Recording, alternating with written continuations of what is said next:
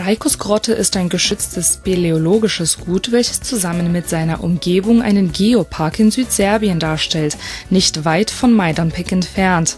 Bis zu dieser Höhle führt ein Asphaltweg durch Buchen, Ahorn und Eichenwäldern am Ufer des Flusses Mali Pek und künstlichen Sees Veliki Saton entlang.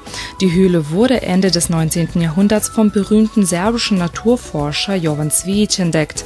Jedoch spazierten die ersten Besucher durch diese Höhle erst erstmals im Jahr 1975. Der Eingangsbereich der Grotte aus Richtung des Dorfes Rajkovo war bereits in der Frühgeschichte bewohnt, wovon ein Steinhammer zeugt, welcher in der archäologischen Sammlung des Museums in Majdanpek aufbewahrt wird. Durch Rajkos Grotte fließt der gleichnamige Fluss, der sich beim Verlassen der Höhle mit dem Fluss Paskova verbindet. So entsteht Malipek.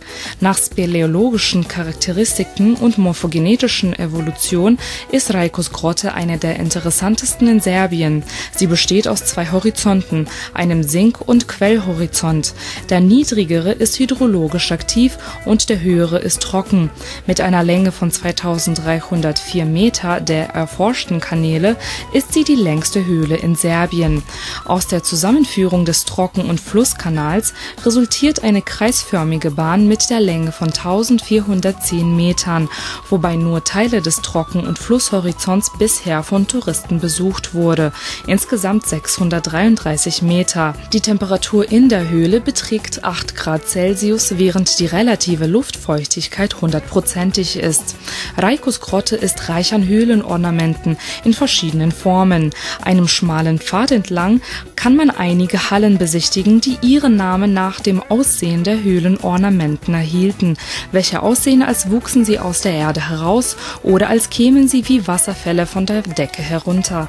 An einigen Orten sind die Stalaktiten und Stalagmiten so gut wie durchsichtig und glänzend, aber es gibt auch Teile, wo sie utopisch weiß sind. Die größte und vielleicht schönste ist die Konzerthalle und danach die Kammer der Seeigel oder Orgel. Raikos Grotte bekam ihren Namen nach Raiko Vojvoda, der im 19. Jahrhundert lebte. Der Überlieferung zufolge hat er als Gastwirt gearbeitet und nachts türkische Karawane geraubt. Die Raubschätze soll er in dieser Höhle versteckt haben, allerdings wurden sie bis zum heutigen Tag nicht gefunden